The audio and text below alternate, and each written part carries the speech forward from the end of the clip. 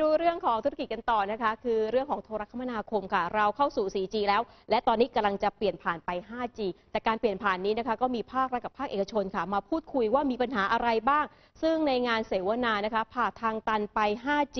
คลื่นความถี่นำไทยสู่ 4.0 ค่ะ ก็มีการพูดถึงประเด็นที่ไทยนะคะ มีข้อผิดพลาด ด้วยการให้สัมปทานค่ะกลับรัฐวิสาหกิจถือครองขึ้นกันอย่างยาวนาน ตรงนี้แหละค่ะก็เลยทำให้เกิดระบบสัมปทานการถือครองสิทธิ์ที่ยาวการขึ้น้นความถี่ที่ไม่เพียงพอกับประเทศ ไทยพัฒนาได้ช้ากว่าประเทศเพื่อนบ้านด้วยซ้ำนะคะ อย่างคุณลัสลอลิงนะคะ หัวหน้าคณะเจ้าหน้าที่บริหารบริษัท Total Asset Communication จำกัด หรือว่า d t แทบอกว่าทุกวันนี้ค่ะ มีความต้องการใช้สัญญาณในไทยเพิ่มขึ้นเรื่อยๆ เท่ากับว่าภาครัฐจำเป็นต้องปล่อยช่องสัญญาณเพิ่มขึ้นไปด้วย อาจจะต้องมีการวางแผนประมูลคลื่นให้เรียบร้อยไม่ว่าจะเป็น 4G หรือ 5G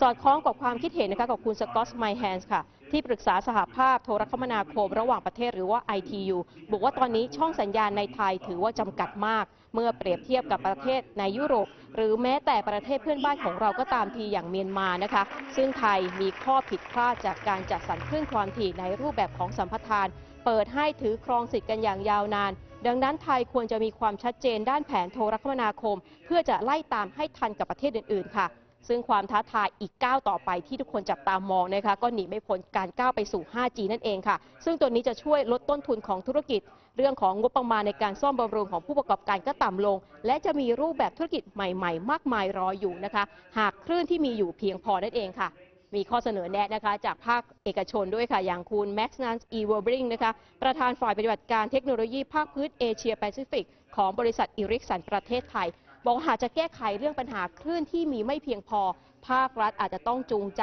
คืนคลื่นนะคะ ด้วยการแบ่งส่วนแบ่งจากรายได้จากการประมูลคลื่นค่ะ เพื่อจะนำไปใช้พัฒนาประเทศ และก็ตอบแทนประชาชนด้วย มาดูฝากฝั่งของภาครัฐกันบ้างนะคะ ซึ่งในงานเสวนานี้ก็มีคุณประวิทย์ ศรีสถาพรวงศานะคะ กรรมการกิจการทรคมนาคมนะคะ หรือว่ากสทชค่ะ คือคุณประวิทย์ศรีสถาพรวงศานะคะ ก็พูดบอกว่ามีความกังวลใจเหมือนกันค่ะ กรณีที่คลื่นความถี่ในมือของภาครัฐ มีไม่เพียงพอเพราะไปอยู่ในมือรัฐวิสาหกิจจำนวนมาก และการนำคลื่นกลับมาก็ต้องใช้ตัวแปรสำคัญ ก็คือกฎหมายเกี่ยวกับการจัดสรรคลื่นความถี่ฉบับใหม่นั่นเอง นอกจากนี้ยังมีการจัดตั้งกองทุนชดเชยนะคะให้กับผู้ครอบครองคลื่นด้วยเม็ดเงินที่ไม่สูงเกินไป